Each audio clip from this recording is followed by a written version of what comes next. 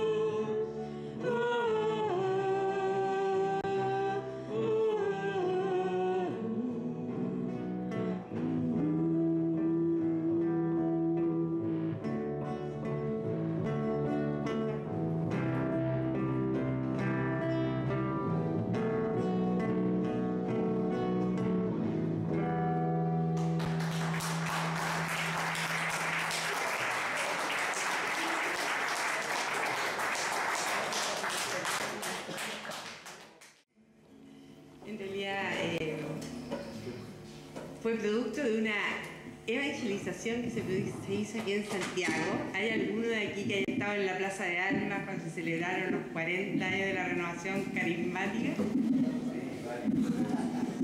¿Recuerdan la, la enseñanza que nos dieron? Un chico de brasileño, parece que era de canto nuevo.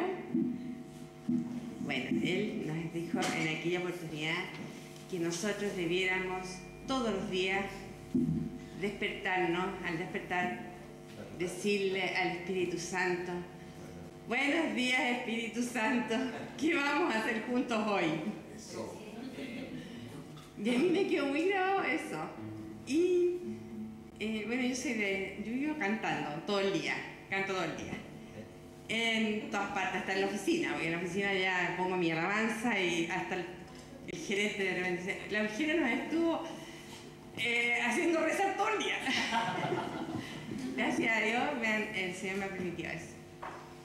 Y venía del manejando, yo feliz, llegué a la oficina, me voy bajando el auto y, esta canción empezó a surgir en forma espontánea. Yo ando siempre con mi grabadora y la grabé. Y llegué arriba de la oficina y la, la escuché esto no puede ser, esto no es mío. Ya. Y la, la copié y la verdad es que a mí me sirvió mucho. Yo me levanto y la canto y, la, vida me cambia. Se la voy a cantar a ustedes con mucho cariño. Esta es la primera vez que me hago yo esto, ah, no, nunca lo había hecho, así.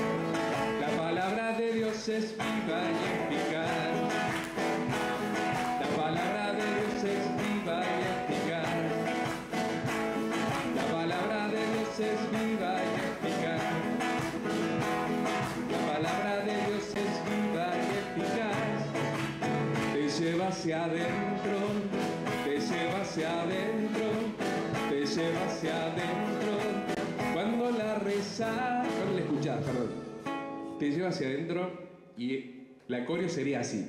Te lleva hacia adentro. Pero no se rían y háganlo ustedes. Esa es la. Claro. Vamos a ver.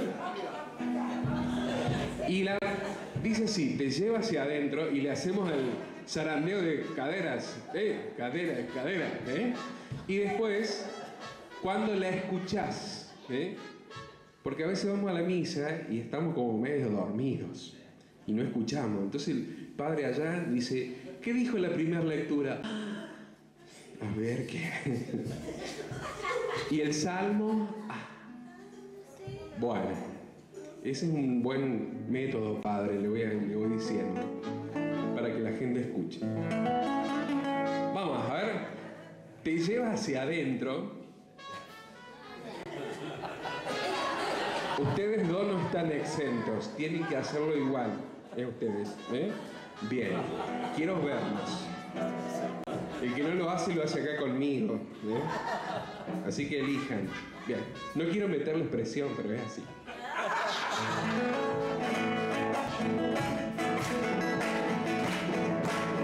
La palabra de Dios es viva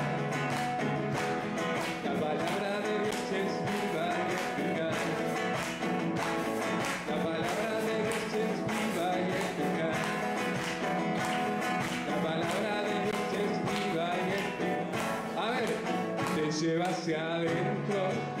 Te lleva. No, no, no, no. Me hagan trampa.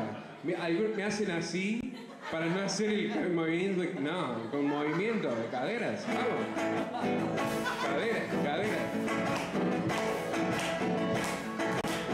Te lleva hacia adentro, te lleva hacia adentro, te lleva hacia adentro. Cuando la escuchas, te lleva hacia adentro, eso, te lleva hacia adentro, eso, hacia adentro. Cuando la escuchas, la parte que dice escuchar, tenemos que hacer así. Gracias. ¿Eh? Vamos. Te lleva hacia adentro, te lleva hacia adentro, te lleva hacia adentro. Cuando la escuchas,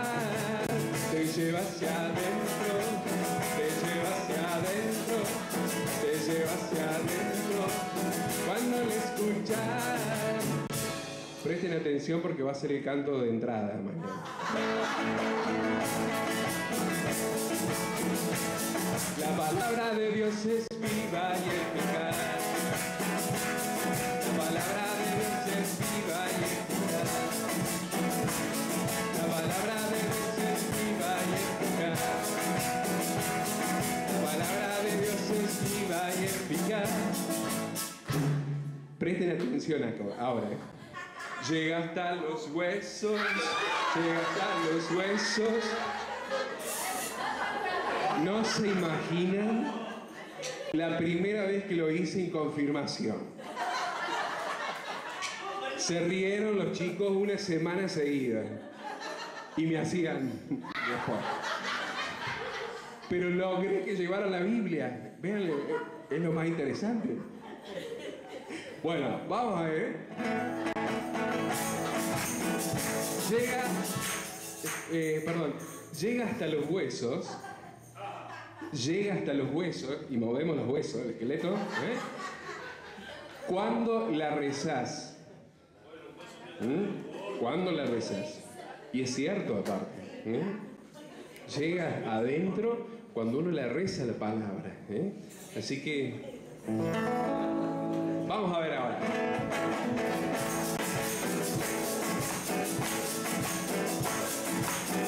Llega hasta los huesos, llega hasta los huesos. No, a usted no les llega, pero ni al talón. ahí, con esa gana, no. Vamos, hay que mover el esqueleto. ¿eh? Eso.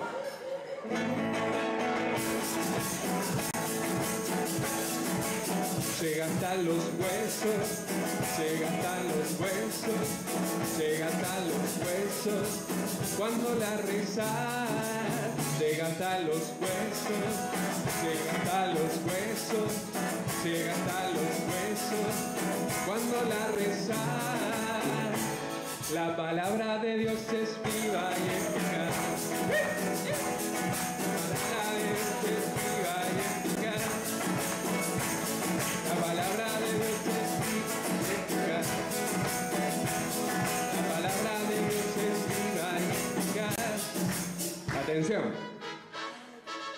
Dice la palabra que hace lo que dice. ¿Eh? Y esto es cierto.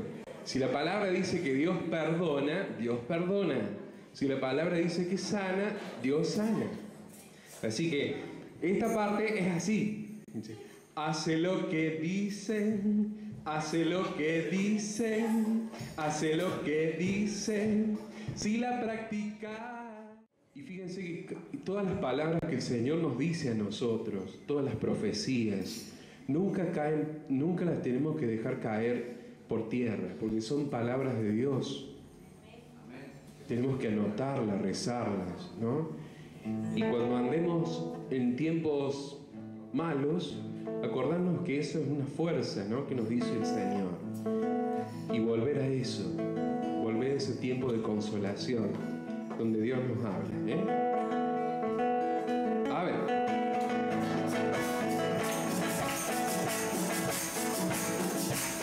Hace lo que dice, hace lo que dice, hace lo que... No, pónganse de acuerdo por favor, porque algunos están así y el otro están así, así que no, no saben si hacen o dicen. ¿eh? Hace lo que dice, hace lo que dice hace lo que dice, si la practicas. ¿Vamos? Bien.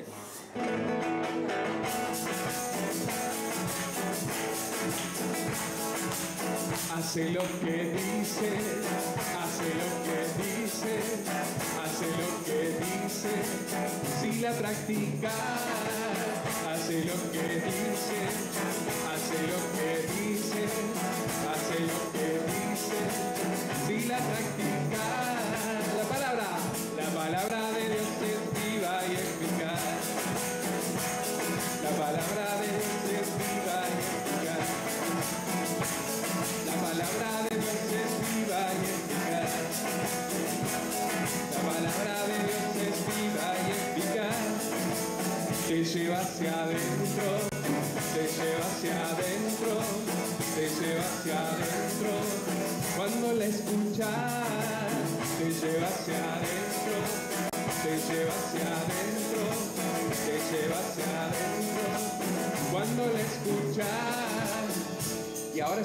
decir al hermano.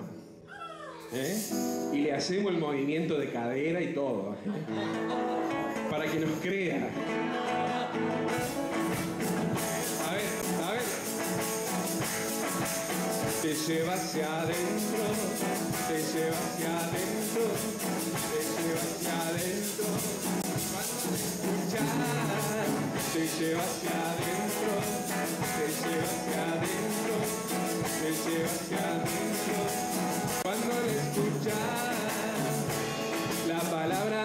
es viva y eficaz.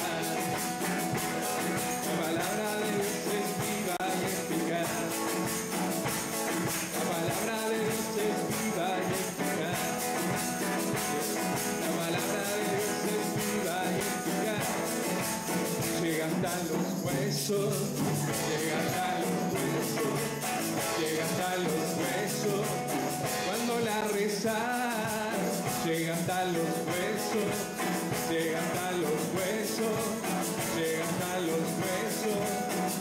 Cuando la rezas, la palabra, la palabra.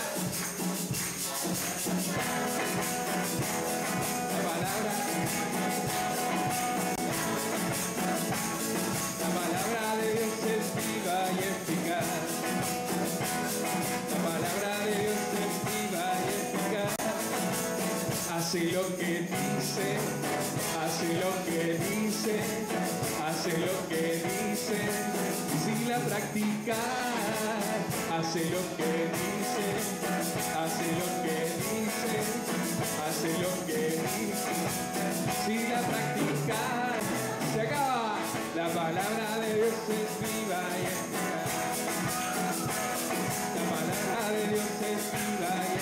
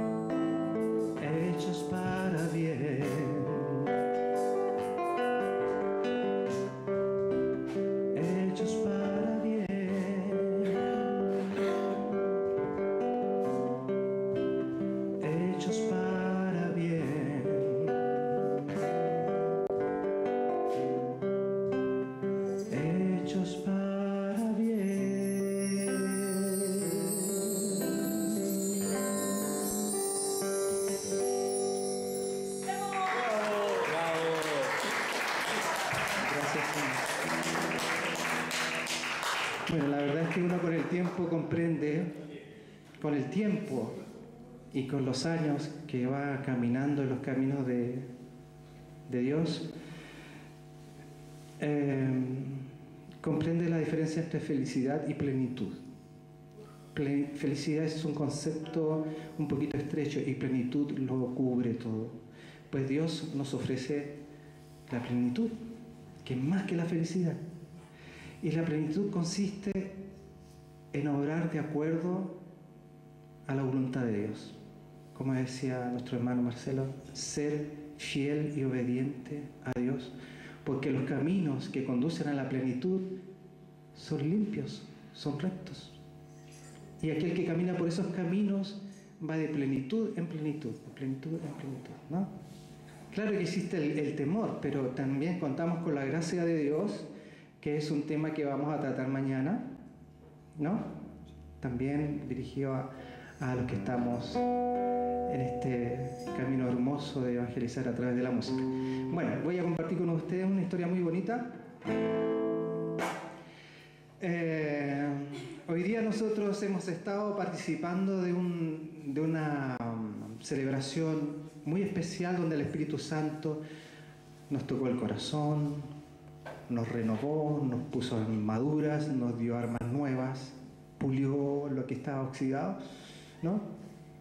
Y yo veía que mis hermanos, inspirados por el Espíritu Santo, se movían para allá, se movían para acá, se puenteían entre las sillas, por debajo de la mesa. Haciendo piruetas para dejar caer a los hermanos sin que se doblaran enteros. Bueno, estos son los camilleros del amor. Estos hermanos son los camilleros del amor. Son como esos cuatro locos que en un pueblo lejano, cerca de Cafarnaún, oyeron que Jesús iba pasando. Y ellos tenían un amigo que llevaba años postrado sin moverse. Estos cuatro locos, locos de amor, digo yo, habrán armado una camilla y lo tiraron encima. Y le dijeron, el santo de Israel está pasando cerca de aquí, no sé dónde, pero para allá vamos. Y tomaron a su amigo y se pusieron en camino. Recorrieron no sé cuántos kilómetros, no sé si se habrán metido al río o habrán cruzado valles, montañas. El asunto era llegar hasta donde estaba Jesús. ¿Conocen ese texto, verdad? ¿Y saben lo que hicieron los cuatro locos? Terminaron rompiéndole el techo a la casa de Pedro. Claro, porque no había otra posibilidad. Pero lo hicieron por amor, por amor a su amigo. Qué amor tan grande, ¿no? Es decir, de aquí no nos vamos a ir con las manos vacías. Te vamos a llevar caminando con nosotros. La fe de esos cuatro fue la que movió el corazón de Jesús y le dijo a ese hombre, tus pecados te son perdonados. Y no solamente es eso, sino te digo, toma tu camilla, levántate y vete. En el nombre del Padre. Bueno, esta canción dice así.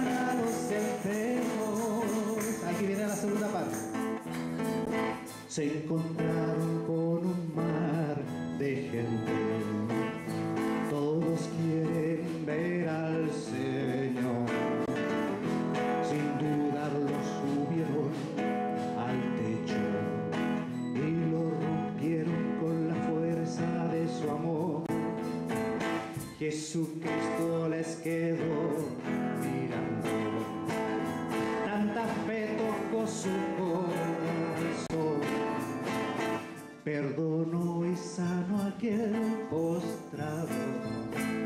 Y ahora los cinco van cantando bajo el sol. ¿Y qué cantan? El Nazareno está aquí, el Nazareno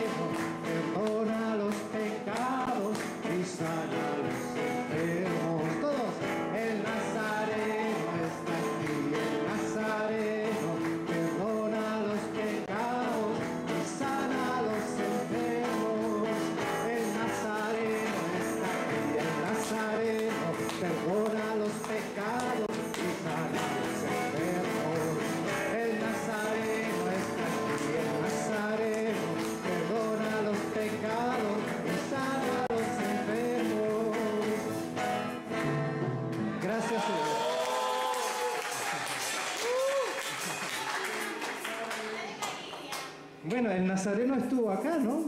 ¿O está aquí? Estuvo perdonando pecados, estuvo sanando enfermos, estuvo levantando a los caídos, así es que nos vamos con esta sensación de fiesta. Hemos tenido una fiesta preciosa con el Señor, hemos escuchado eh, a nuestros hermanos que vienen del sur, de Los Ángeles, de Chillán, dotados con preciosas voces, con bonitos talentos, ¿no? Entonces, razón más que suficiente para bendecir y alabar al Señor. ¿Qué dice aquí? Ah. Ya. Sí, sí.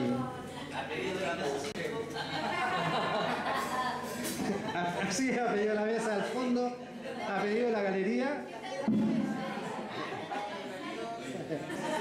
Eh, voy a contarles un, un testimonio muy hermoso.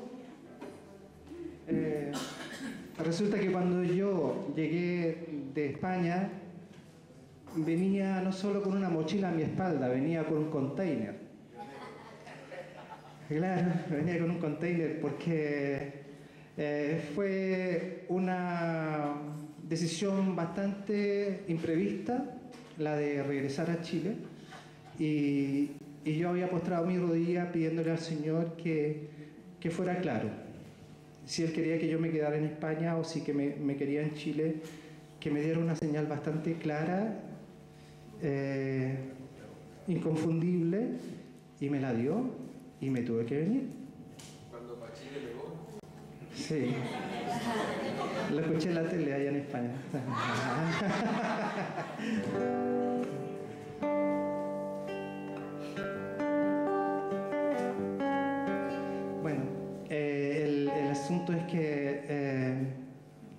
la primera vez que, participé en algo musical fue en Valparaíso, cantando para nuestros hermanos damnificados por el incendio grande, aquel que hubo en verano, el año pasado, 2014, ¿no?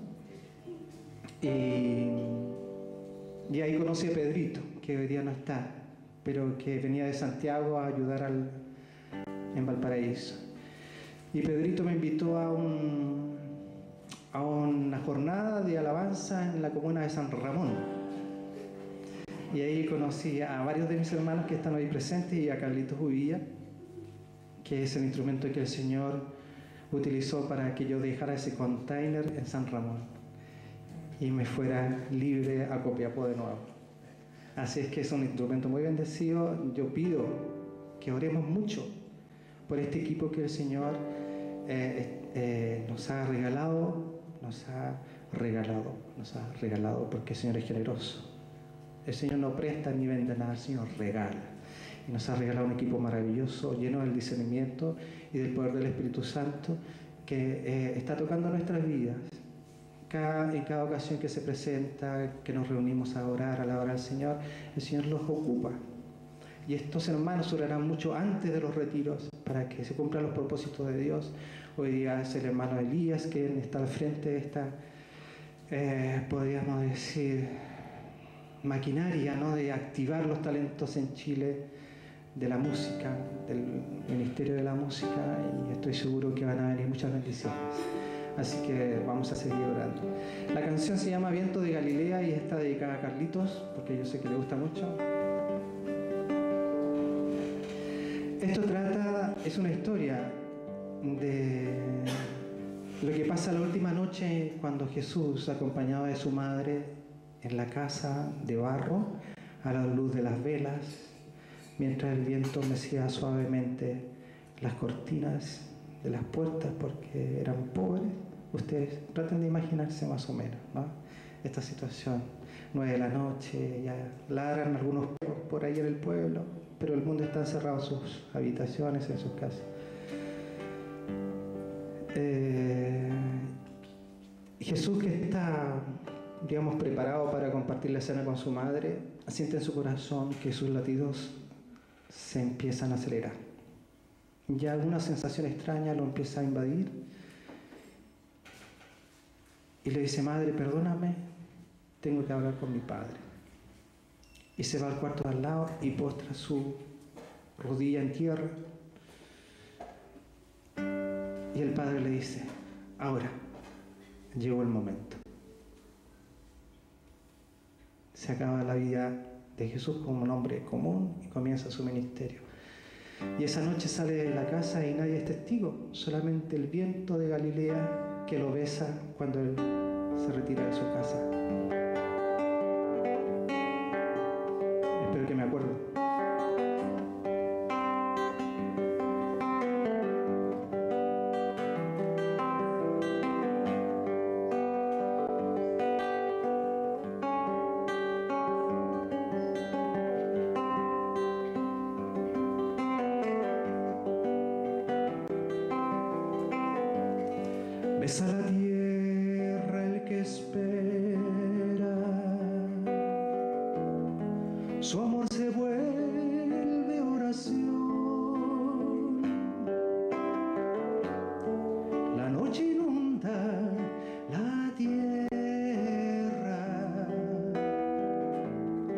criança era ali.